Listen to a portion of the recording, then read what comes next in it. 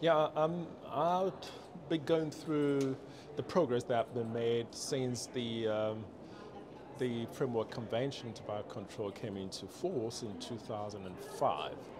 Um, since that time, there have been a number of evaluation studies. Uh, importantly, is that we've observed an aggregate decrease in smoking prevalence from about uh, 22, 23% to about 17% around the world.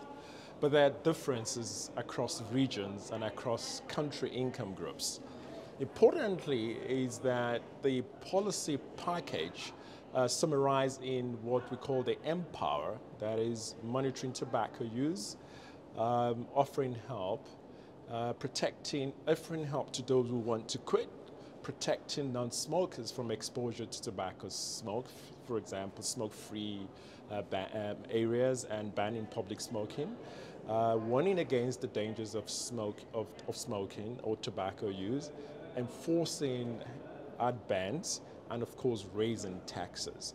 Now, all of these policies have been well tested and that's why they're summarized as the key measures. But there are differences in implementation and when you look across the world, you'll find that lower middle income countries are less likely to have implemented these policies. Rich countries, high income countries, and upper middle income countries are more likely to implement those policies. However, what we're seeing as well is that there's a difference between implementing and enforcing them. So there are scores on policy implementation, but sometimes they do not necessarily correlate with decrease or changes in tobacco use.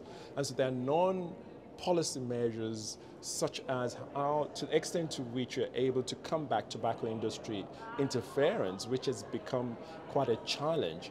Also addressing issues of culture. Some uh, societies actually you know, accept tobacco use as part of the culture.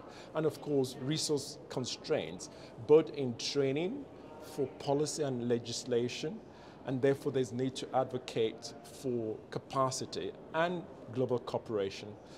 So at the end of the day, what is important to know, particularly for this um, community, cancer control community, is the fact that one of the biggest and effective ways to reduce tobacco use is increasing prices of tobacco, which helps particularly for poor people and therefore reduces inequality.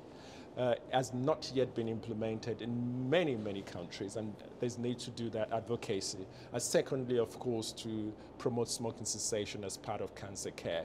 So we conclude that there's need for collaboration uh, between different um, stakeholders and ensuring that the whole of government respond uh, to tobacco control, particularly the framework, which is not just the Ministry of Health as is currently is done, but is actually finance ministry and all other parts of government.